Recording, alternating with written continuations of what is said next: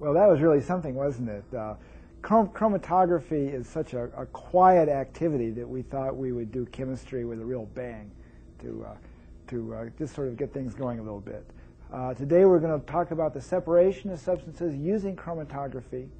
Uh, chromatography is a technique that's used by many different kinds of laboratories, uh, clinical labs in hospitals or environmental testing labs, uh, forensics labs all use chromatography as a way to separate different kinds of compounds uh, with the goal of identifying the presence of, of useful sorts of things. Uh, a forensics person might, might identify toxins or, um, or whatever in different kinds of contexts. Uh, we'll do chromatography in this lab, a special kind of chromatography called thin layer chromatography or TLC. And that we use a TLC sheet very thin, paper thin piece of material like this for our experiments. You'll have one of these on your bench in front of you along with uh, some, um, along with a, a beaker uh, of this size, and you should have a ruler like this, some, some plastic wrap, uh, and you should have some capillaries as well. Nearby in the hood will be uh, some developing solution, this, and there will be some some standard samples. These are um, are, are dyes. You'll have four dyes available to you, probably in the hood of your lab. And in addition, each person will have his own, his or her own mixture of dyes, which are constituted unknown. You'll try to identify what these what these dyes are by comparison with the known dyes. TLC uses a a sheet like this that has a thin film of cellulose applied to a plastic backing. The shiny side is the plastic backing, and you can touch the plastic backing. But the dull side has the cellulose on it, and you may not touch that. The cellulose scrapes off altogether too easily, so you have to be very careful when using this. Uh, just touch it by the edges like I'm doing here. Don't touch the surface of the plastic. Because the plastic uh, because the cellulose rush, uh, rubs off of the plastic easily, and because you have to use a pencil to mark it, you have to mark it very gently so as not to hurt the cellulose. Now, your first step will be to mark uh, a line across the bottom of the cellulose exactly one and a half centimeters from the bottom. So use your ruler, make a little mark at one and a half centimeters on one side, and then a mark one and a half centimeters on the opposite side and then place the ruler lightly, very, very lightly, lining up those two marks, and without pressing down on your pencil, make a line across the cellulose like that. You can see the line when you do that. And the line is not so hard that you scrape the cellulose off. You have to be very careful of that.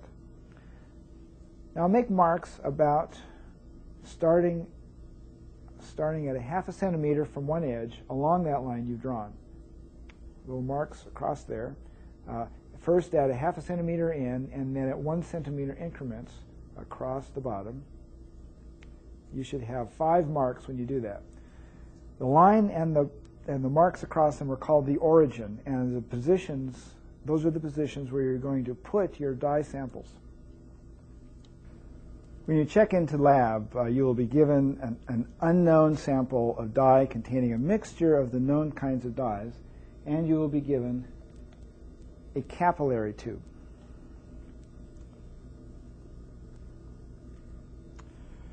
When you have your, your, your TLC sheet ready to go, you'll take it up to the hood and, and take one of the capillaries in one of the dye samples and uh, and spot the dye that is in the capillary on the marks you made at the origin on your TLC sheet.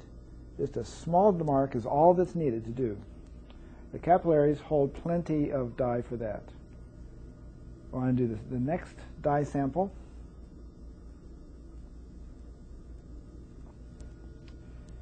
And then the third dye sample.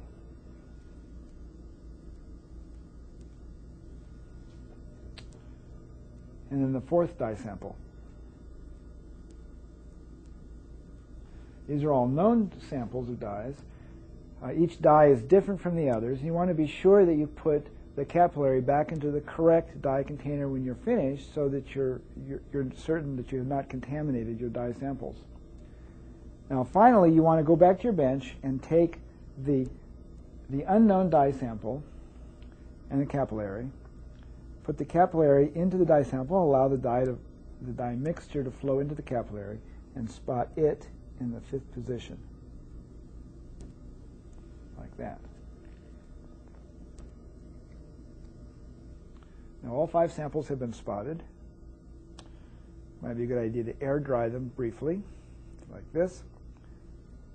Now we're prepared to run the chromatogram. We run the chromatogram by putting it into a beaker with a small amount of developing solution in the beaker. Uh, this uh, this um, pipetter um, enables us to transmit to transfer a particular volume of, of material to uh, to a beaker and we operate it by grabbing a hold of the white top of this, putting the beaker underneath it, pulling the white top up until it stops, and then pushing it down until it stops. Now the right volume has been dispensed. Uh, it's preset to the correct volume, 10 milliliters in this case. Set it down. Place the chromatogram into the beaker, like that and put a piece of plastic wrap on top of it to keep it to keep the liquid from evaporating.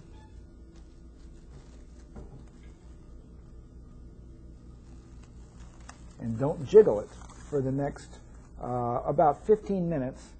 And while uh, while this is setting for 15 minutes, the uh, the developing solution rises slowly, and as it rises, it carries the dye with it. You'll be able to see that happening. At least at first, it moves fast enough that you can see the dyes moving.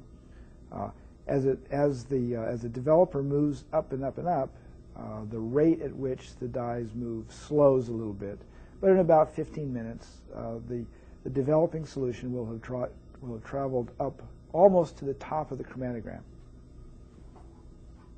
Keep a, a close eye on the uh, chromatogram, and when it has reached within about a half a centimeter of the top of the chromatogram, when the developing solvent has reached about a half a centimeter from the top, then you want to very carefully remove the plastic off the top and take it out of the solution. And when you do that, you'll be able to see that, the, the, that there is a, a line of dampness that is the boundary between the wet chromatogram and the dry chromatogram where the, where the uh, developing solution hasn't run yet right away you want to use your pencil to mark that, that, that boundary. Now you can let it dry, and it takes about five minutes. Wave it in the breeze a little bit for about five minutes. It's good aerobic exercise for you. And then when it is fully dried, you can make your observations. Now there are several observations you want to make about this TLC. Um, you can see that there are different colored dyes you want to write down on your report sheet the colors of the dyes in each position that you see. I, I, see here yellows and oranges and greens, all kinds of colors. Write down those colors on the report sheets. Uh, you also see that the dyes have different shapes associated with them. And write those down. I, I see round shapes and so on, different kinds of shapes. So write down those shapes as you see them. In addition, you want to make measurements on this. You want to measure how far the dyes have moved relative to how far the developing solution moved. Uh, the distance the developing solution moved is called the solvent front, and you can measure the solvent front position using your ruler, the distance from the origin line to the solvent front line, measured in centimeters, uh, can be reported on your, on your report sheet. Uh, at the top of the page, it says the distance the developer moved. You write that distance down. Uh, be sure to write that down, estimated to the nearest hundredths of a centimeter.